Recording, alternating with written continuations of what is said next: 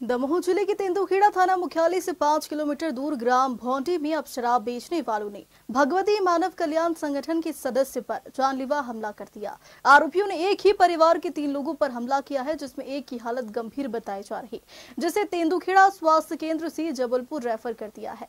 दरअसल बीस सितंबर को संगठन ने पुलिस को सूचना देकर कच्ची शराब पकड़वाई थी। इस मामले में मनोज केवट और पवन के खिलाफ आबकारी एक्ट के तहत मामला दर्ज हुआ था, जिससे आक्रोशित आरोपियों ने मंगलवार को संगठन के सदस्य कुशल सिंह लोधी उनके भाई अनाड़ी एवं भतीजे जितेंद्र लोधी पर जानलेवा हमला कर दिया।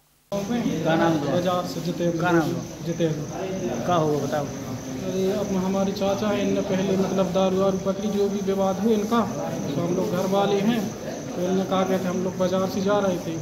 चार पाँच लोग आए और हम लोगों को पटक लिया और मारा है। लेके और पापा को सिर में मारा और हमें हंसिया मसीहा जो कुछ भी लिए।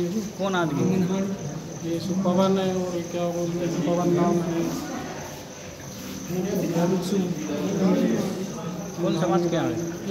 कौन समाज क्या है? गोर समाज के दारू वारू उतारते हैं।